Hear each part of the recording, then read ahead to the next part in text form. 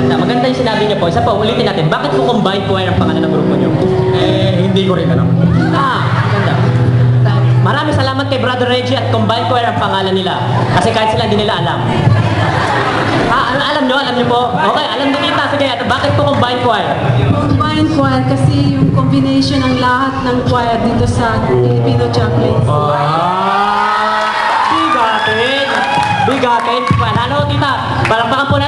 Combined Choir.